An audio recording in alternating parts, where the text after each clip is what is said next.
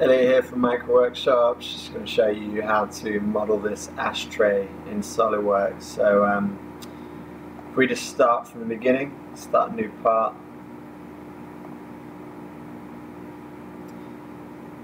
Yeah, the first thing we're going to do is the main body, which we're going to use a revolve for. So if you come to your front plane, start sketch, just get your line, click at the origin and just bring out horizontal line and uh, if you make that 45 mil. And then we're going to bring out another line here. Not vertical just angled a little bit. We're going to make that 1.3 mil height.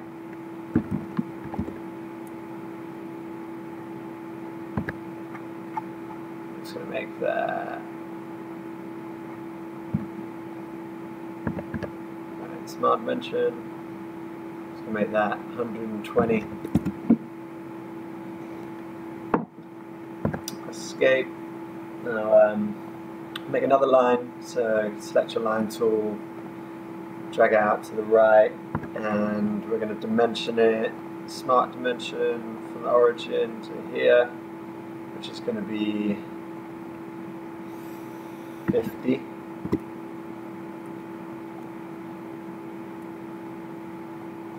Got 50. And then we're going to draw another line up.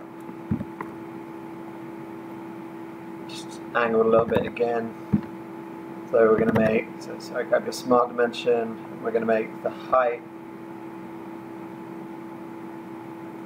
25 mil.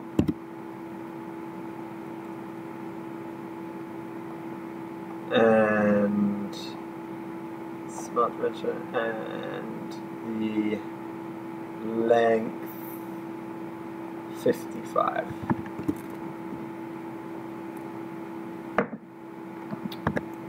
so now we're going to um, make the other walls representing the inside of the ashtray. Um, so a quick way to do that is you can just go to offset entities select it, it's automatically got select chain so it's recognized all of the lines. I'm going to reverse, I'm going to want to give it like a 5 mil wall thickness and I'm going to say OK. Now I'm going to get my line tool, I'm going to close this here at the origin. So close, closing the sketch.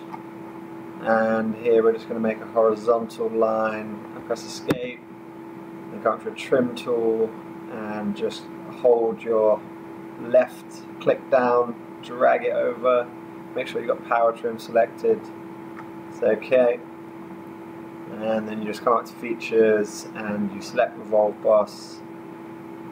And the first thing it wants to know is where is its axis it's revolving around. So we just say origin and then it's automatically picked up this closed profile. So it's made a revolve that we want. So now we just want to uh, make these little cuts here. So I'm going to make a start sketch on my right plane. And I'm going to look head on with it, so spacebar to get your view cube, right plane. Now I'm just going to do a section view with my right plane just so I can see the inside. Um, and I'm going to come up here and I'm going to get my center line, I'm going to start the origin, I'm just going to drop it anywhere there. And I'm going to give it a measurement of 15 mil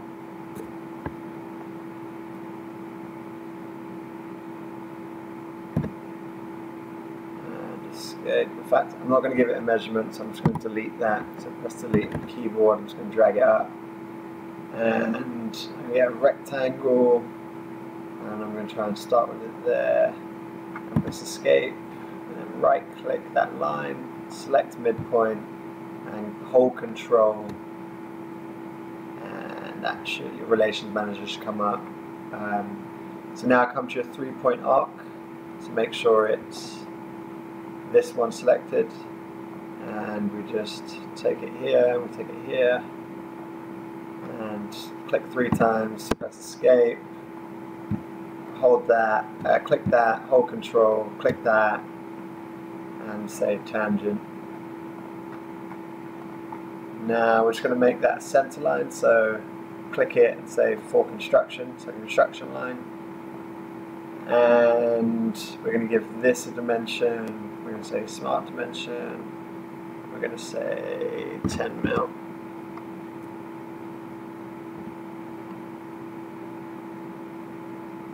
And then we're going to give this a dimension again. Uh, so let's say that's 25 mil.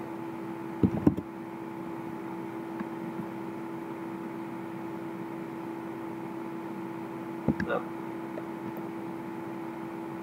So if you got the same thing that I just did, right click here, pardon me, just uh, left click, hold control, left click again at that point, say okay. Now we're going to give this a dimension, smart dimension, I'm going to say that's 5.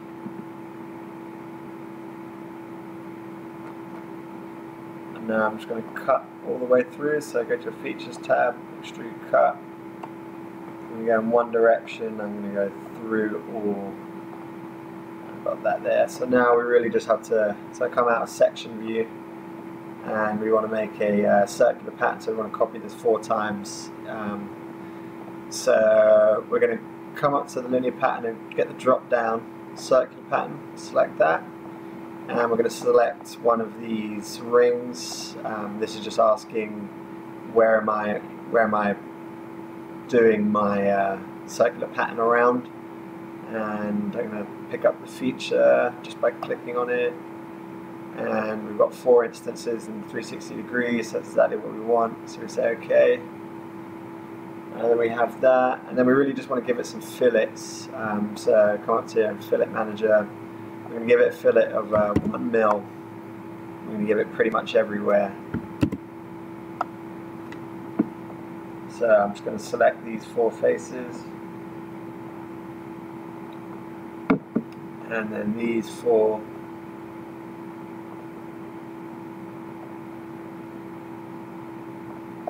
say OK. And lastly, we're just going to put a little logo on there. So if you click on that face, and start sketch. Look at it, put it head down, and we're just going to get our text here. Um, we're going to just say micro workshops. I'm going to get my O sort of centered on the origin. So you just come up here and you click in the curves, and then you can just click anywhere in space, and it's going to move to where you want it. So that's where I'd like mine. And I'm just going to say emboss, so features, boss extrude. And because it's a logo and it's just uh, an embroidered logo, I'm just going to put it up 0.5 mil. And